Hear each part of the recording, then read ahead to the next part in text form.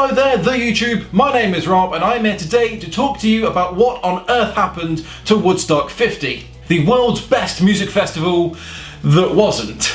By the way, I make a lot of videos about music and music festivals, so if you like this video, be sure to click like and subscribe for more content like this.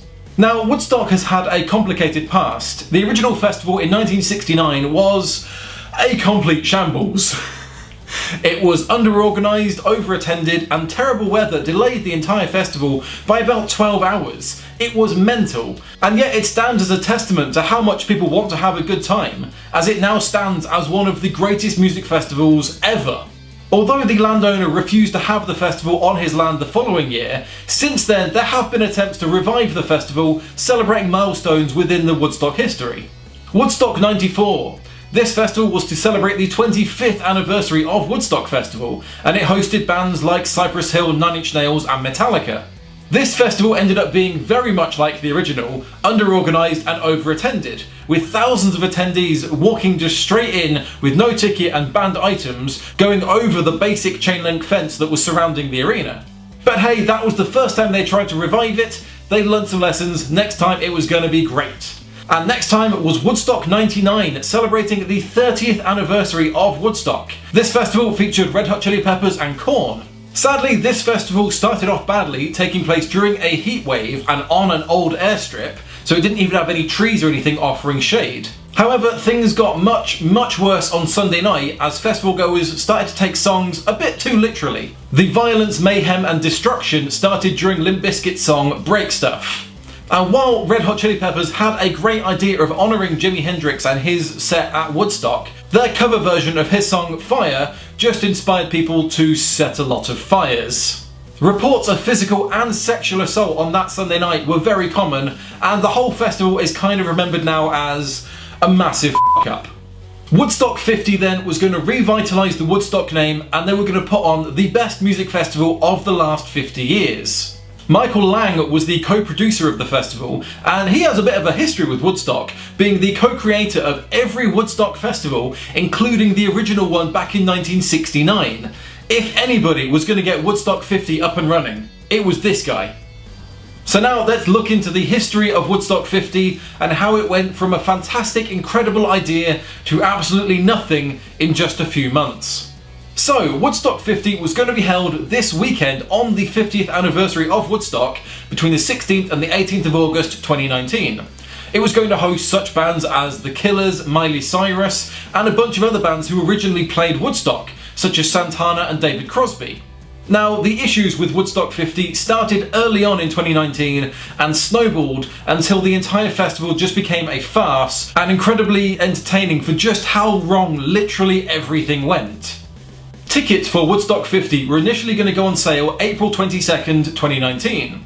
However, that day came and went and no tickets went on sale. On April 29th, 2019, the original investors, the Dentsu Aegis Network, announced that they were no longer funding the festival and it was therefore cancelled. This was due to the organisers of the festival originally promising 150,000 attendees to the festival.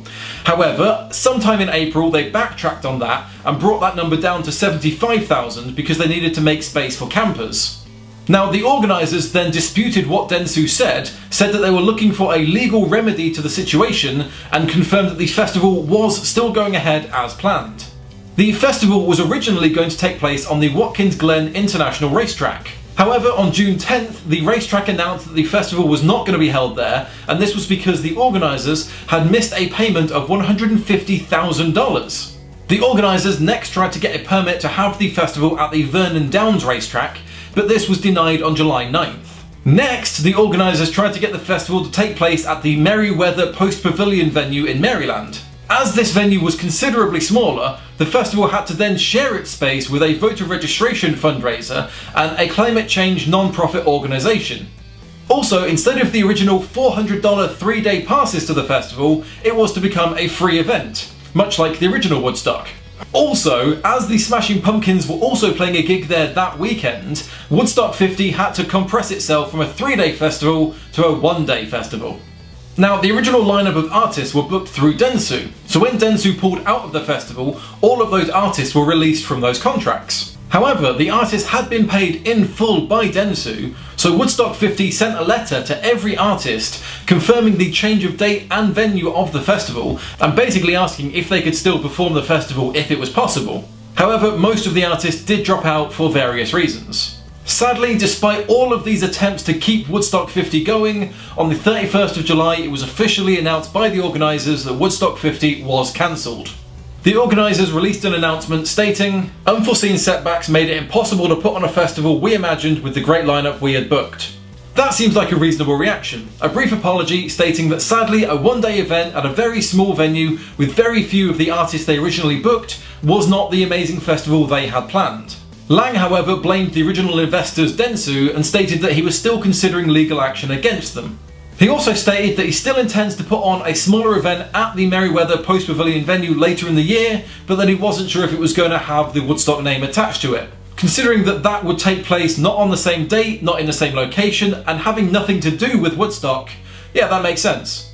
So what can we learn from this? Maybe we can learn that putting on a festival isn't that easy. It takes a lot of planning, a lot of investment, and a lot of passion.